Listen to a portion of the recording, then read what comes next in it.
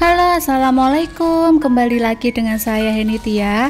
Hari ini saya tidak share resep seperti biasa. Jika saya tidak share resep saya akan ganti dengan sharing tentang jualan saya.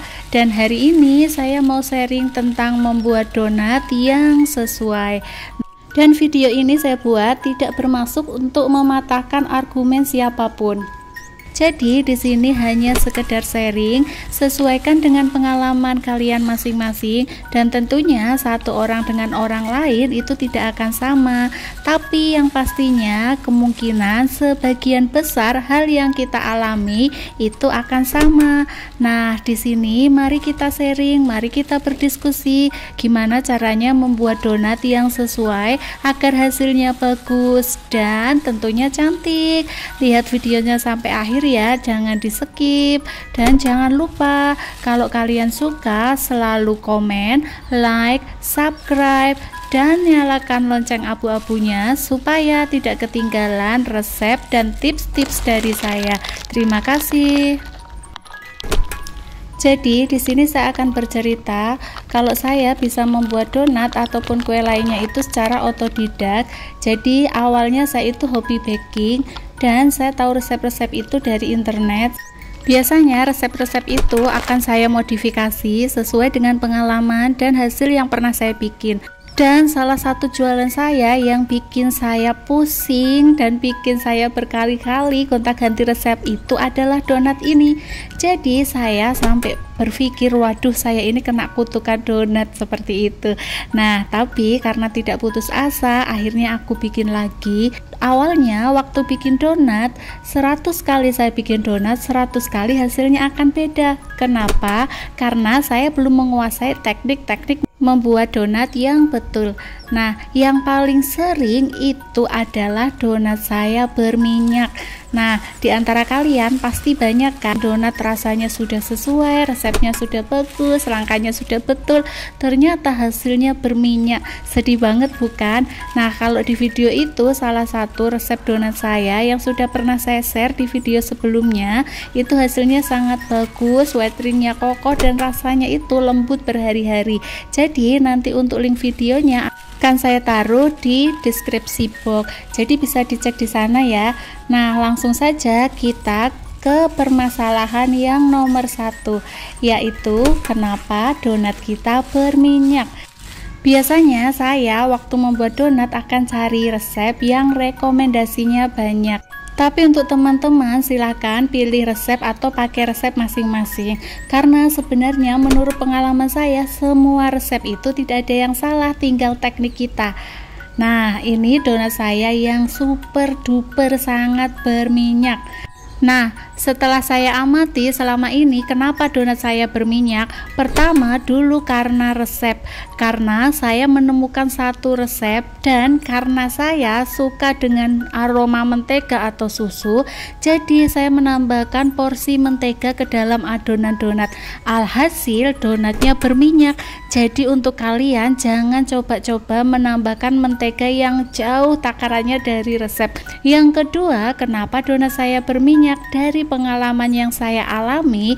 Pertama itu karena rounding saya tidak mulus. Jadi ketika kita goreng itu masih ada rongga udara.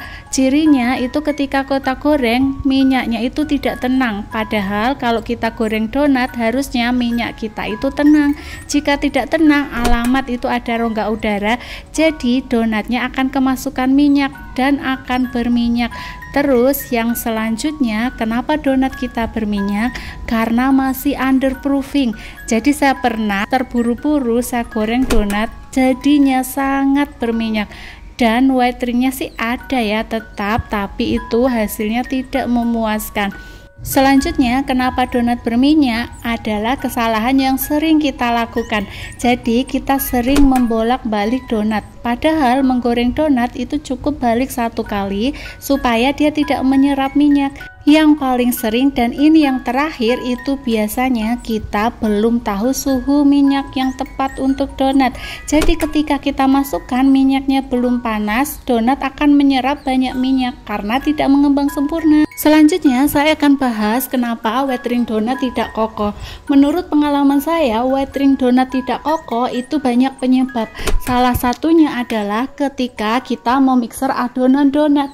Memixer adonan donat cukup hanya sampai kalis saja, bukan kalis elastis. Jika kalian sampai kalis elastis, donat kalian akan kopong dan ketika digoreng dia akan mengembang sempurna keluar dari wajan, dia akan berpinggang untuk weteringnya.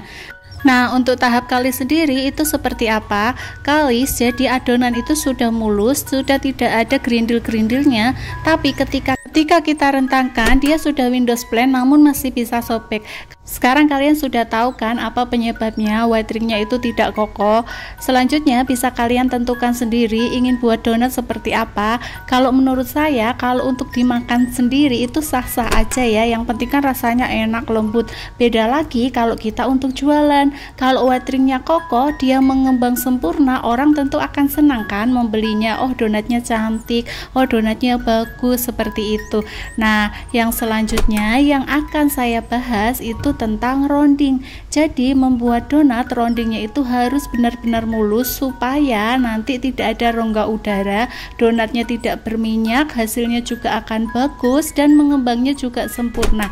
Nah, satu lagi yang paling salah dalam membuat donat itu kita tidak mengenali waktu proofing.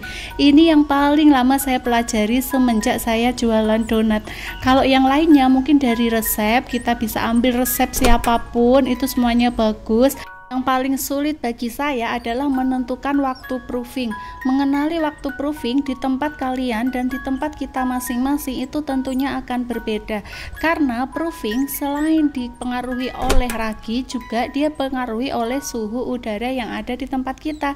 Jadi, satu tempat dengan tempat lain itu waktu proofingnya akan berbeda. Salah satu tanda yang paling mudah kita kenali adalah ketika full proofing adonan akan mengembang dua kali lipat lipat.